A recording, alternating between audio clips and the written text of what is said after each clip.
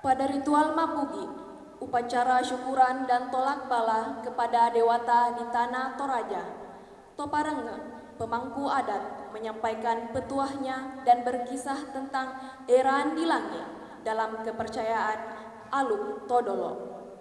Dahulu kala, langit dan bumi menyatu. Namun, di suatu waktu, Puang Matoa sebagai dewa tertinggi memutuskan untuk menciptakan kehidupan. Dipisahkanlah langit dan bumi dan diturunkanlah nenek moyang manusia, moyang tumbuhan, moyang batu, moyang hewan, moyang angin, moyang racun, dan sebuah tangga yang menghubungkan antara langit dan bumi yang disebut dengan eran di langit. Melalui tangga itulah manusia naik ke langit bertemu langsung dengan dewata, memohon petunjuk dan menyampaikan segala keluh kesahnya. Karena hubungan yang begitu erat dengan Puang Matoa Sang Dewata, terciptalah keteraturan dan kesejahteraan di muka bumi. Namun, manusia menjadi lupa diri, serakah, dan tamak sehingga melanggar aturan dan pemali agama yang membuat Puang Matoa murka. Diruntuhkanlah eran di langit yang menjadi malapetaka dan kehancuran di muka bumi. Teater titik dua UKM Seni UNM dengan tulus, ikhlas dan cinta mempersembahkan Era di Langit.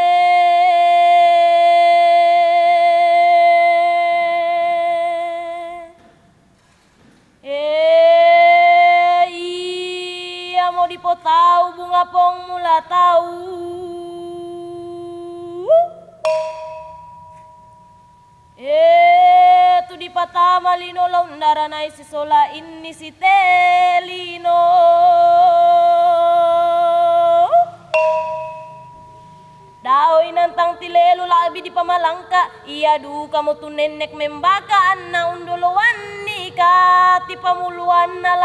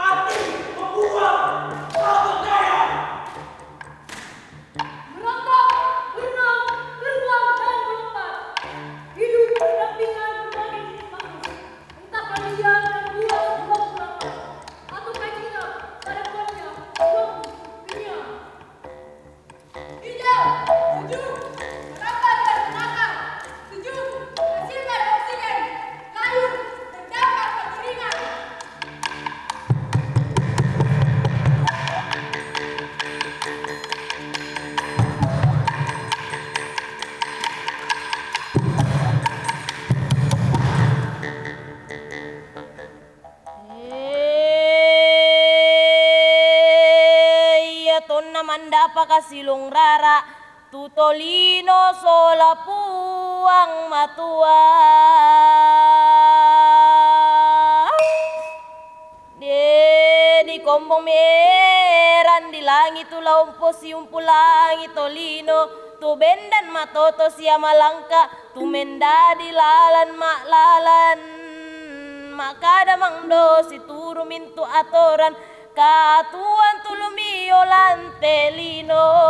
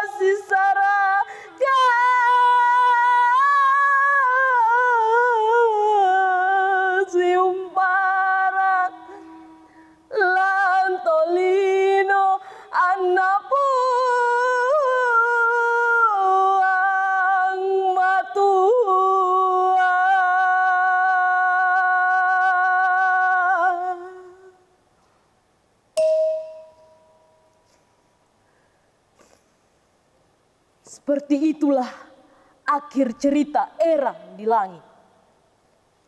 Hubungan leluhur dengan Puang Matoah yang dulunya begitu dekat, kini terpisah jauh. Diruntuhkannya Eran di langit sebagai pelajaran agar manusia tetap berbuat baik.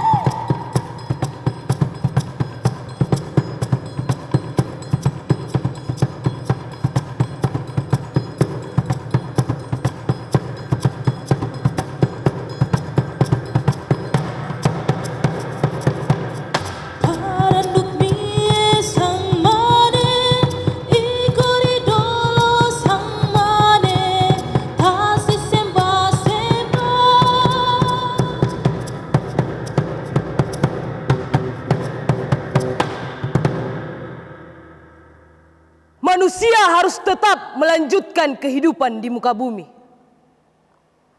Petaka bagimu jika melanggar larangannya. Dan jika kau melaksanakan perintahnya, niscaya kesejahteraan dan kebahagiaan akan selalu ada di tanah Sang Toraya.